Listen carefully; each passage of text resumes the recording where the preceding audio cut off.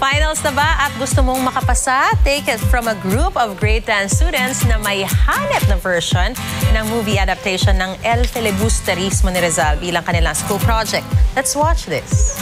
Uling, mahirap bang intindihin yun? Ginoo, anong nangyari?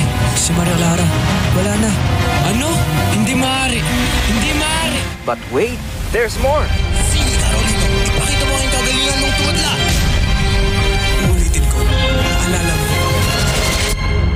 Ginoong Ibarra? O di ba hanip sa galing, sa ganda ng pagkaka-edit, Ito na ang pagkataon. Ipakita natin na hindi tayo mga dugong alipin. Samahan niyo ako maging magsik. pagkakalatag ng visual effects, Ang kahong ito ay naglalaman ng isang dakot na abo. Teremo! syempre husay ng pag-arte. mga estudyante. Tanging ibig naman ay tumupad kayo sa inyong mga tungkulin. Mahirap bang yun?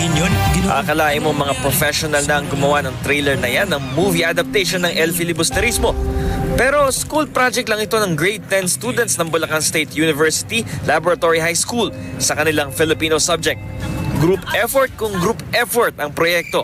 Ang bawat miyembro ng grupo, game na game sa mga pag-green screens, all-out outfits, pagpunta sa mga out-of-town locations, at nakamamanghang special effects. Worth it naman ang pagod ng grupo dahil mula nang ma-upload sa social media ang video, umabot na sa mahigit isang milyon ang views nito. Ito ang unang balita. Pam Alegre, buong puso para sa Pilipino.